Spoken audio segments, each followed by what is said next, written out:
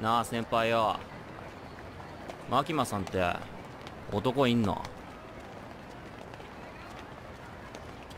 なあよ。なあ。ちょっと来い。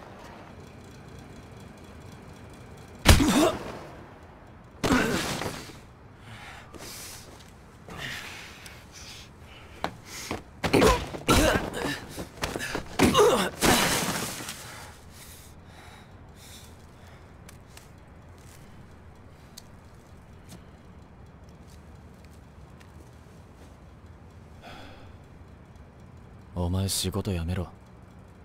明日も来たらまたボコるからな。なんでだよ。俺の優しさが伝わらないかな。軽い気持ちで仕事する奴は死ぬぜ。俺の同僚も給料だけ見てデビルハンターになった奴は全員悪魔に殺されたよ。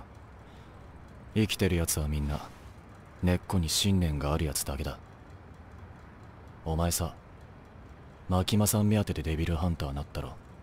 ピンポーン。じゃあ殴って正解だったな。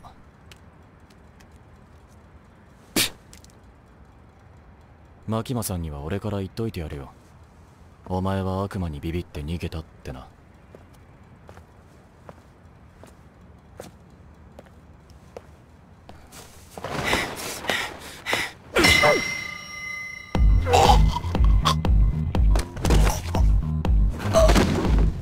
先輩は優しい人なんだなおい。俺は男と喧嘩するだけ。股間しか狙わね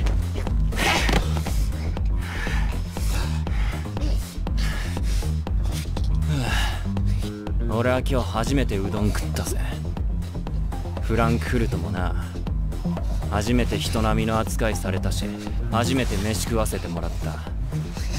俺にとっちゃ夢みてえな生活だ。俺は軽い気持ちでデビルハンターなったけどよ。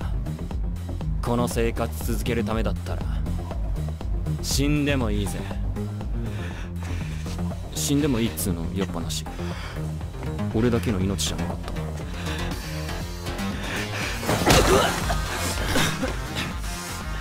牧間さんはな。お前みたいなチンピラが好きになっていい人間じゃねえんだよ。ああんだよ。てめえも牧間さんが好きなだけじゃねえか。お前マジで。邪魔ばっか狙いやがった